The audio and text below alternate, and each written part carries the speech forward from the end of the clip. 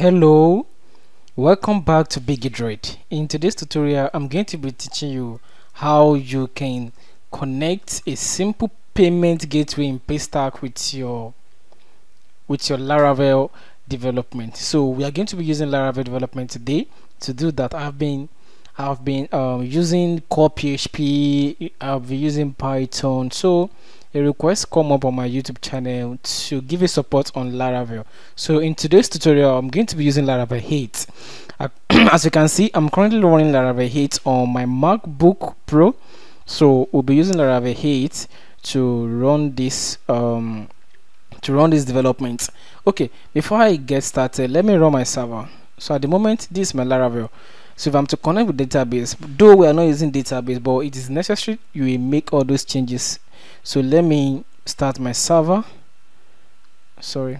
Let me start my server my php my admin. Then i can i can run the server for the laravel. So let me start my um, php my admin. That is the mysql database and my apache. I also start my apache so let's wait for it to start. It's currently starting. Yeah. Good. My apache web server is running. Good. And my mysql database is running. Though i don't need it for now but in the future we're going to need it. Just today solving um paystack payment gateway in laravel 8.2 okay. Now let's get started. So i'm going to be running my server now. Php artisan. Php artisan south. Yeah. Good. My server is running on 127.0.018,000 okay now let's take a look at that. 127 good. Nice one. Good. Now my laravel application has been loaded good. So the next we're going to do now is to move down to the developer area. Then we go to documentation. Developers then documentation. Then we click on accept payment. Accept payment. So once we are in accept payment area just scroll down to the section where we have the HTML so the HTML tag we have here is what we're going to be using. So let's just let's pick it up. Let's pick the HTML as simple as that. Let's pick the HTML then head over to our VS VS Code where we have our Laravel. Then we click on new resources view. Inside our view let's create a new view. So let's take for an instance I want my um, payment to be done on payment page.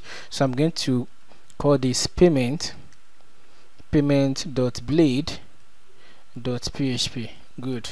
So in my payment.blade.php i'm going to have a default html tag html5 tag where we have my title as paystack. Sorry. Pay stack paystack. Paystack payment paystack payment for laravel laravel 8 so paystack payment for laravel 8 now inside my body i'm going to drop the content i copied from paystack website. Now here we copy the email address the amount the first name the last name. So and as you can see the last one that we have here is our submit button. So we have a submit button here that say pay with paystack which is a method. So this method is what we are going to define in the next in the next section. So to do that we are going to scroll down and type script. So this script inside this script we are going to write this method and place the function. So let me let me copy this uh, this name and write the functions here. Function pay with paystack so inside it uh, we're going to go back to paystack and copy the function in order to use that. So here we have const payment form get document by uh, id payment form. So this is the payment form they are getting actually. This payment form here. So let's get our payment form. So we say let payment form payment form equals to sorry equals to document dot get element document dot get element sorry. Document dot get element by id get element by id so which id are we getting? We are getting this id payment form. You can actually copy it from paystack without delaying you. Okay so we've done that. So now here we have a, an event listener on submit appended to the payment form. So we are going to do that also. So let's take it from here without delaying ourselves. So we copy that then we drop it down and we say payment dot add event listener that is whenever a whenever the user trigger on a submit button. Once they trigger the submit button this function is going to run. This function here pay with paystack is going to run. Yeah so that's what that means. Now pay with paystack is now um is now passing a parameter of event. So this parameter of event that is the element event itself the element event of the form because this form is the event that we'll be passing into this pay with paystack so we are going to point the event which is e and we come down and say let this element um, prevent the default prevent the default uh, default behavior. Yeah. So we're going to be preventing the default behavior with our javascript. Prevent default. So prevent default. Oh i'm very correct. As you can see we have prevent default over there.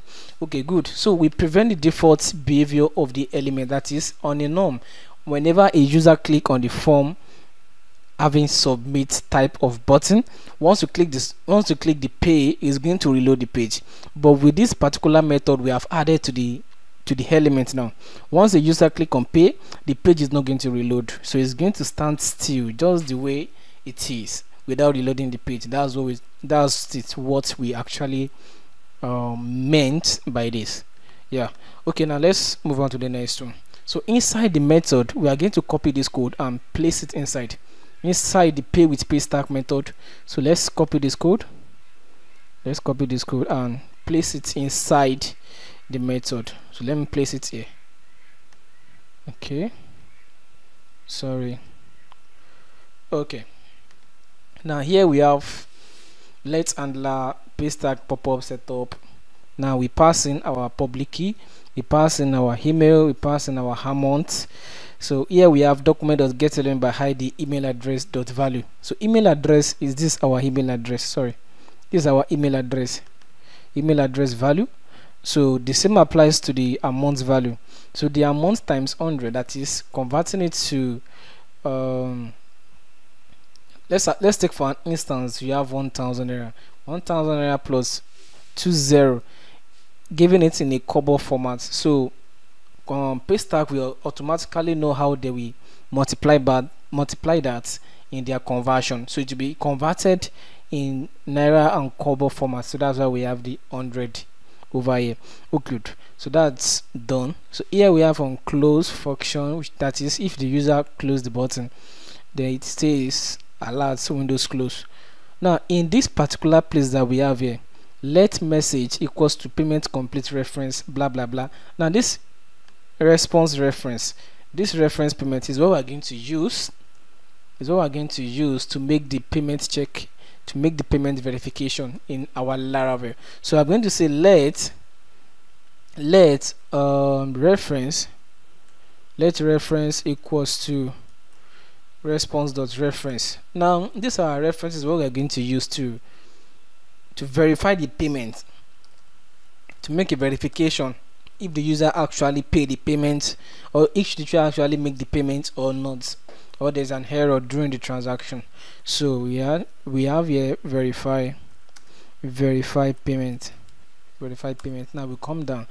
Now in order to do this it will be very necessary for us to um, make an ajax. Yeah an ajax request is what we're going to use in this particular place for the best uh, integration. So i'm going to be picking ajax cdn so let me tab ajax cdn ajax cdn good.